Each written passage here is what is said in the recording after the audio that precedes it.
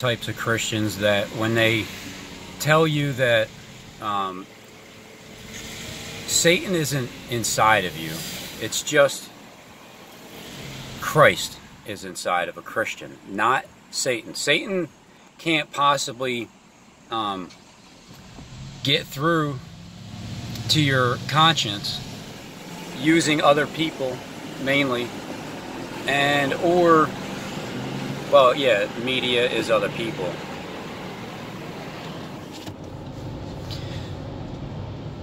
So let me get this straight. Your vessel right that has a brain in it that thinks. Everybody thinks don't you well some people don't. They don't think logically but they do think. They they matter of fact the people that think a lot they think too much they don't have any logic because they're thinking too much. So there's a vessel, you got thoughts in your head, you display uh, like anger, you display jealousy, hatred, envious, um, all those negative feelings that you display. That comes from Satan. That's that's the you know that my dad he told me that Satan's biggest trick is to um, make you believe that he just doesn't exist. That's why the I mean it's purpose. The, the, the name of the, the Christian name has been uh, tampered with over a long period of time. So they've been discredited. But then again, I don't know. Is that, I mean, are you a Christian? Are you a Christian? What's the difference between a Christian and um, a Protestant? I don't know. What's what? I know somebody knows the differences between all religions. But what truly is the difference if you claim to be a Christian and you also claim that there's no way that Satan can possibly um, enter into your vessel because you're sealed. You're sealed with Christ. And Satan just doesn't like exist anymore, you know? Because Satan, he, he can't, he can't penetrate. All right, all right, all right. That's fine. That, that's fine. You, okay, all right. All right. When somebody cuts in front of you, because this is what they do a lot, when somebody cuts in front of you and you're in a hurry and you're late for whatever, the store's going to close or something. And that just irritates the piss out of you. And don't act like it never happened.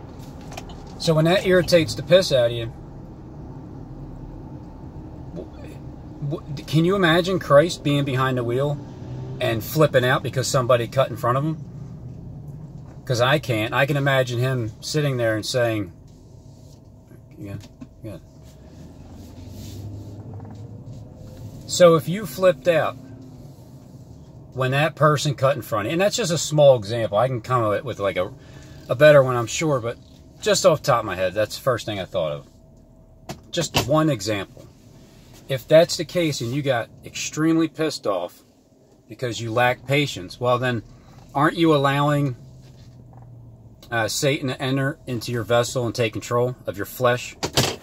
Because now you're heated, your your your temperature is rising, your your sugar level goes up. If you have diabetes, it's it's bad for people because it goes up, and they get they get upset over nothing.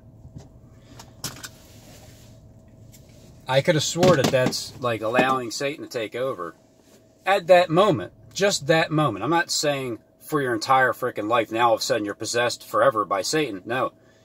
That moment happened. You allow him to take over. That's it. When you do the exact opposite and you you do what Christ would do and you you let them go, you're allowing Christ to take over your vessel at that moment.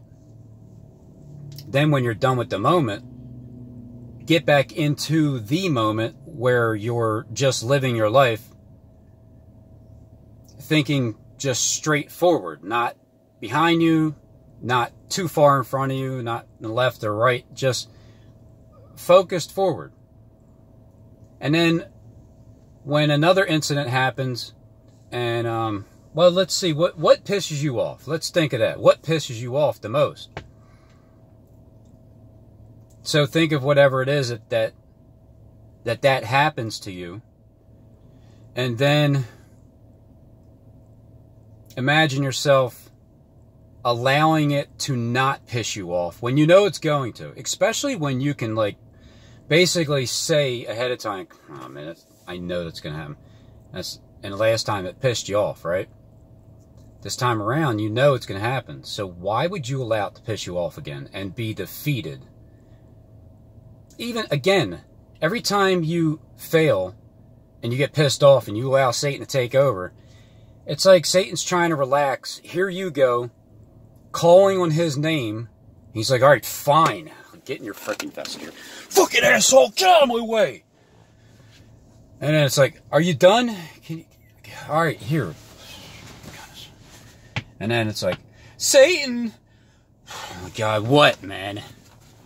So that's where the differences are with you having, um, allowing the emotion to take over.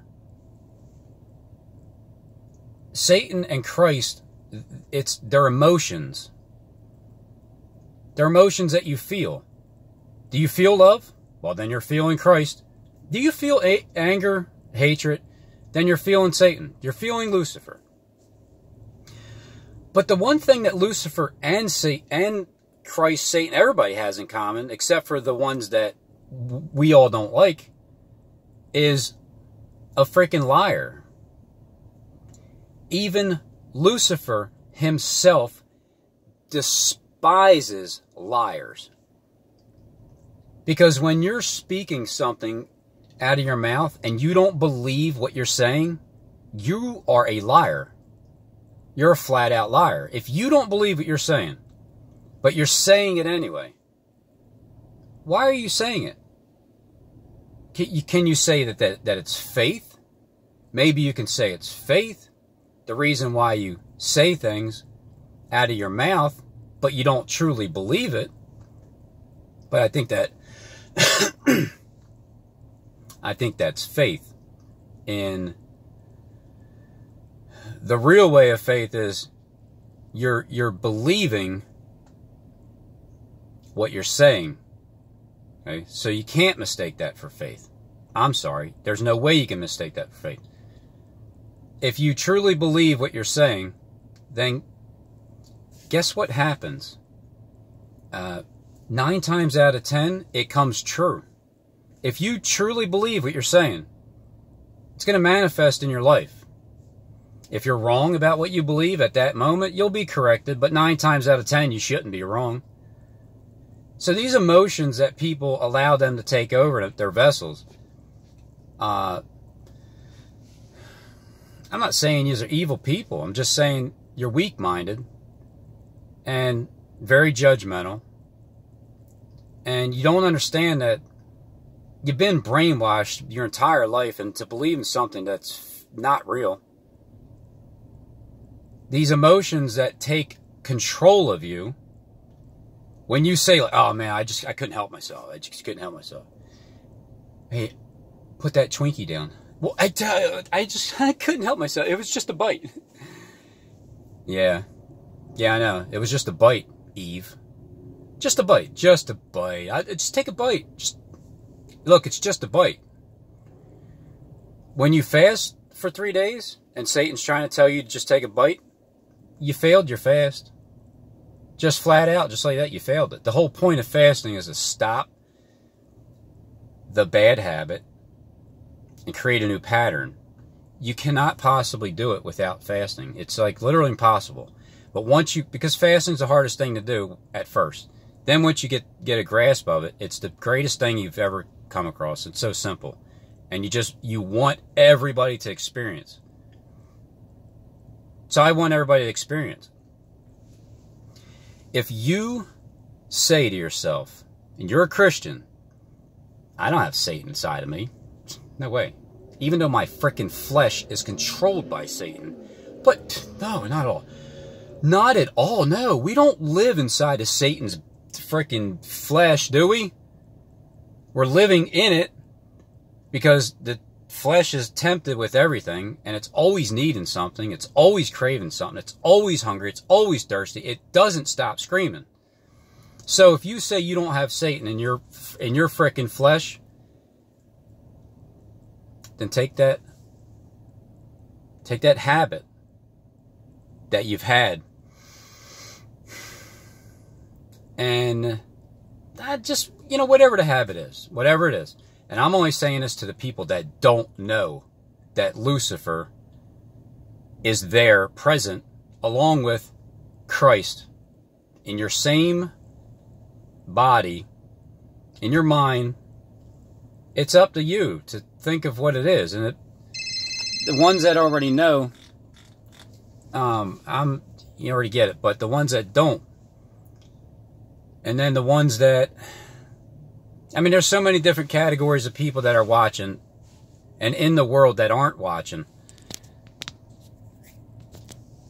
Try not to um, try not to eat, right? Because that's the I would have to say that's between that and smoking is the two toughest things to do to do away with because it's a it's a, you're used to it. Food, obviously, you need it you need it to, to live, but you don't need that much. And you only realize that when you start fasting and then you start shedding the fat and then um, you start seeing results and then you start feeling a lot better. And, and then when you do that, it's testimony that it works. It's true. It happened. It's working. This is the way it is.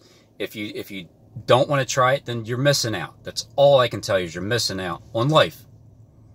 Because you might think you got all under control with your spirituality and your, your name that you I'm a Christian, I'm good to go, I'm sealed. No, you're not. You're not sealed at all. If you think that way, you're you're you're doomed. You're doomed to die in your sin because you'll live all throughout your life, but you're going to die in your sin because when you die in your sin, literally, that's when you'll finally realize what the meaning of life was. But if you can die in Christ now, and you don't have to die in sin because the second death has no power of you. If you die in Christ now, and then you also understand that that's pretty much like everything that he did was fast and prayer, praying, fasting and praying. Mainly, as he's fasting, he's getting the clear understanding of who his creator is and and how it's like it's like Michael and Lucifer disputed over the body of Moses type ordeal. You you you know who's up there, and then you know who's down here, and then you know that you're the vessel that's supposed to control what's going on in your in your mind. So for the ones that think that you don't have Satan in your vessel, right? Do a three-day fast and come back to me afterwards and tell me if you didn't hear him screaming in your in your spirit just a bite. Just just take one bite. Come on, seriously, just one bite. It's not even, look, you're still cutting down, right? Just take a bite. Eve, come on. Just take a bite. And, um, and then if you're true to yourself, which you won't be, but if you were, some people do change after that. I'm hoping people would change after they do a three day fast. The ones that, if you are up for a challenge, let's do that. Let's do a challenge. This is a three day fast challenge to the big fat hypocrite Christians. Take the food away from your mouth for three days. All right? If you think Satan doesn't live in your vessel, and if you don't think that Christ lives in your vessel, if you don't think that, then go ahead and do that. Take the challenge for three days. Come on. The three days is going to go by anyway. What is, what happened last week? Um, so, uh, who knows? But it went by, right? Like that, didn't it? So why not challenge yourself for the for the next three days? Don't say you'll do it tomorrow. Don't right now. Just right now. Look, 206 um, Saturday. 206 Saturday. See, it's going to be hard because for people to do it now, it's like, oh, I got Labor Day, we got barbecues. Look, you can either do it now or you can do it after or get one day in. Today is my barbecue day. I ate yesterday for the first time and then um, after the five days, the four full. And then today I'm just taking it easy, but I'm to have barbecue and enjoy it. And, um, and then, well, after, uh, after the barbecue, it would be easier for sure. Not that, no, well, the first day is the hardest anyway. But I'm just saying, it would be easier to do it like throughout the week. But then, I don't know, you know, when I have work, it's harder. Therefore, I like to fast going to work because it's harder. It's easier on the weekends because I don't have to wake up early, so I'm not tempted by food because I'm sleeping still. I like to get up early and fast during the work week because it's more hours in the day that I have to suffer. It's more hours in a day that I learn how Satan is trying to talk to me, and you just, you know now, because you got Christ talking to you too. Their voices seem to be more clear. It's not that they're louder, they're just clear when you don't shove the poison in your body. So many people have said that you can't fast, you can't do it with diabetes, you can't do it, you need to eat, you're going to die. It's not true. Oh man, that the from Alaska account, um, I don't know your first name, but that, that video you sent on my last video, I pinned it. It's very good because the guy is talking about, you know, the common sense of life and what you put in your body and how the more food you put in, the more you're feeding the parasites, and then they poop in you, and then you're pooping them out. And then the, the less you eat, well, when you, when you, when, well, it's like you're constantly being eaten alive. That's what I'm trying to tell you. When you don't eat, how do you lose weight? Um, don't like, don't they continue to eat you? and then they're pooping. Like if they're eating fat, they're gonna poop it. They're eating food, they're gonna poop. They're pooping, pooping, pooping. And and then so, but the best thing that I see, I don't know this answer though. What happens when you finally get down to tip top shape, and there's no more like fat on your body, because the parasites ate it all away. So when you stop eating, the parasites are going to eat the fat for you. I believe that's the case. It makes sense to me. I'm not sure, but I know that they eat the food that you put in your system. So if you're not putting food in and you're losing weight, the miracle to me was how the frick do you lose weight? Like, how do you just, three days later, you're like 10 pounds lighter? Like, how did that happen? Well, when you fast for three days with the water fast, right? And then, um, three, four, whatever it is. The longer you fast, the better because I think, you know, I think this happened last time, but it's kind of gross, but look, it is what it is. When you go to the bathroom after that time, you're like crapping out stuff that you didn't even know you could have possibly, it didn't even make sense. Like, it's like a river flowing of like, you know? So for the ones that did it, you know what I'm talking about. And, um, isn't that because the parasites are eating your insides and you're shitting them out? Just some food for thought. I mean, if you want that kind of food to think about at this time when I just said it. Obviously, that doesn't, it's not a, a literal thing, food for thought. It's like food, like uh, the, the word, like it's the word. You, you want to chew, chew on this. If you, if you want to listen to this, some food for thought. So go ahead, hypocrite Christians. Take me up on the challenge. Oh, oh, I'm sorry. Oh, I'm sorry. Here's the cop out. I should not, should I, oh man, should I say this? Because I know exactly what's going to be typed in, all right? I know exactly what's going to be typed in. I'm not saying it. Nope, I'll say it afterwards. For the ones that know me, you know I'll tell you the truth. I'm not going to say it right now. But the ones that have, the ones that will not take my offer to do a three day fast and give us progress on the fast. So we know, you know what I mean? So we know where you're at. Don't you, because how are we going to believe what you're saying? You got to give us update. You know, it's got to be an update. I'm only talking to the hypocrites here, not not to the. Let's see if there's about 500 people that watch. I'm not talking to the 450 because uh, I have a feeling the 450, the number has been like. There's another there's another meaning that goes deeper um, because everything that was is not now. So the things that were, things that were are not.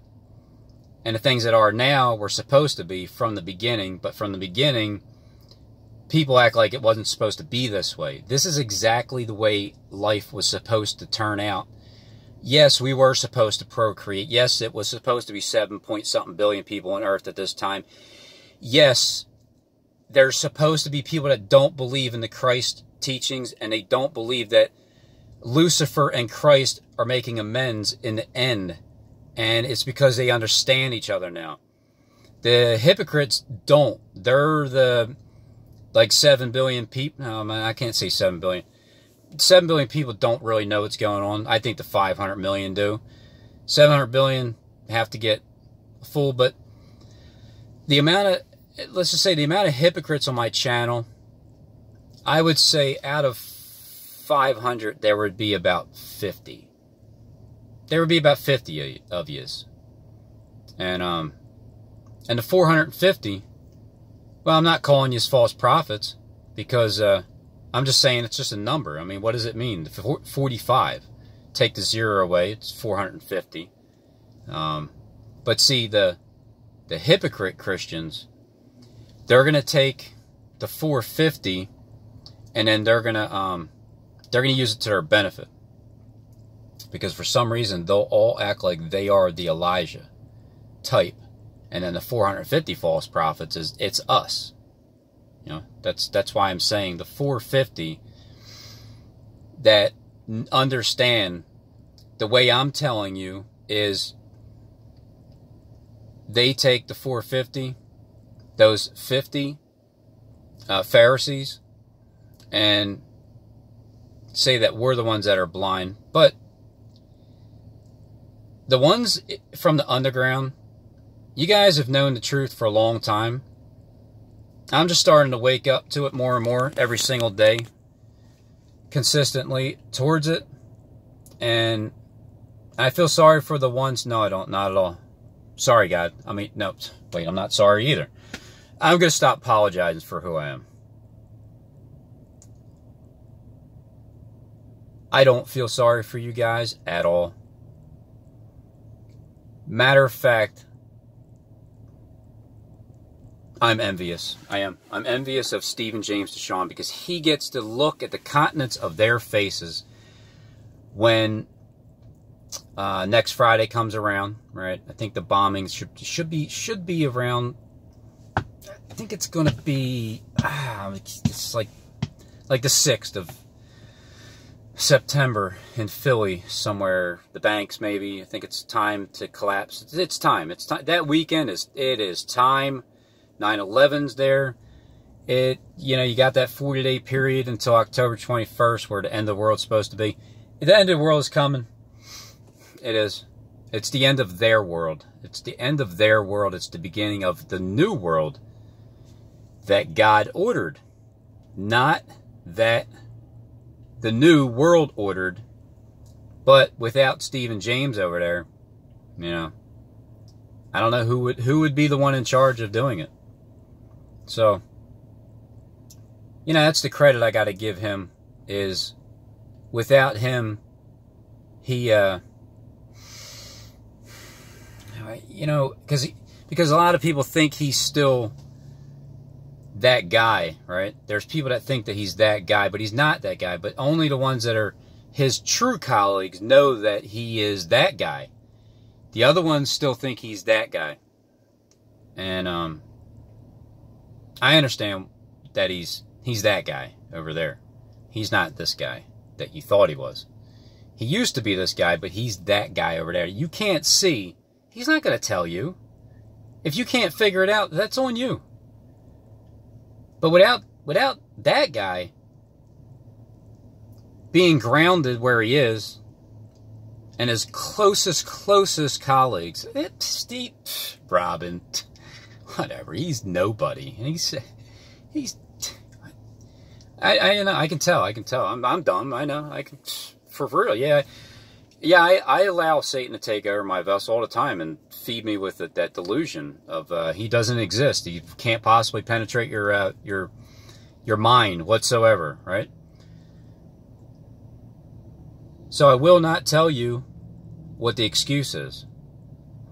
To the hypocrite Christians that will not take on this challenge of uh, three day fast and give us an update as to uh, the progress of it. You know, that's what I did. I gave the progress report because a lot of um, speculation has been like um, that it's it's a negative thing, but I don't know. Would you rather the parasites continue to to eat your food that you're putting in your stomach, or eat the fat that you don't need on your body whatsoever? But it's a mindset. You have to be willing to do it. It you know you got to make up your mind and then stick with it. Do it. Do what my mom did. I mean. 72 years old, fast for the first time in her life for four days straight on a water fast with type 2 diabetes and wasn't hungry the entire time. Oh, and pretty much stopped the, the coughing, clearing the throat. At least it minimized. I'm sure once you start eating again, you'll do it because I started doing it today. I did it like seven minutes in on this video. But you, you learn from the first time wow, what the hell was I thinking and why didn't I decide to do this before? Why? What is wrong with me? And then you'll understand what was wrong with you. You were allowing Satan to control your vessel and you were in denial, acting as if he wasn't. Why do you think people get so upset when you when you pierce them with truth and slay them with the word of God? They get up on that altar and they start cutting themselves and slicing themselves and thumbing down your videos because they hop in with all five of their accounts and they, they make sure they give you at least five thumbs down right off the bat. You know, I can always tell a dirty fish when I catch one. I can always tell. I got you hooked and you are not leaving until you get cleaned up there, buddy. All right? So keep flip flopping around thinking that you're good in the water, but you're not. Take the challenge people. Try it. See what I'm saying? My mom did it. She's still alive. She didn't die. Matter of fact, she didn't take her diabetes pills for those three days because she didn't need to because her blood sugar level was was perfect. Just because she didn't eat for four days. Yeah. Um. What is it? Is she just the only one like that? Fine. If you if you say that my mom is the if I give bad advice to somebody and they die, well, my mom did it, and um, and she'll testify to it. I have video to prove it. You know, it happened. There's no excuse. Do it. Just do it. Try it. Just make up your mind. I'm telling you, it feels good when you can deny it. Yeah, at first it's kind of tough because you're so you're so you're going through withdrawal of food. What do you expect? But you got to go through that first. Once you finally get through the withdrawal of food, then once you finally start doing it and you, are not waiting to go to sleep. I, mean, I can't wait to go to sleep because tomorrow's another day and I got one more day after that. No, you're cheating your life then. But I had to go through it too. You might have to still go through it, but once you get to phases, uh, look, it's like a it's like a seven step process. You got to do it once at least one day to learn it. Then you got to do it three days, and then you got to do a three day water fast, and then you got to do it seven days, and you got to do a seven day water fast, and then then you finally get it to the part where you enjoy fasting. As soon as you wake up, you want to be tempted. You're going up to chicken, and you're like, ah, "How's that, Satan? Huh? You like that? Yeah. You're not ruling my body, are you?" Because then that's now that's now Christ taking over, mocking Satan, like. Wouldn't you love for me to eat that one, Satan? Ah, I bet you. Oh, Art, what? Huh? Are you upset? Are you getting mad? And there's nothing you can do about it? Good. That's you getting back at him for all the time that he's controlled your body, mind, and soul.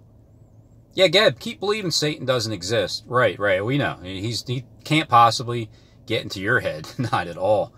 Nah, not at all. What's the excuse going to be, hypocrite?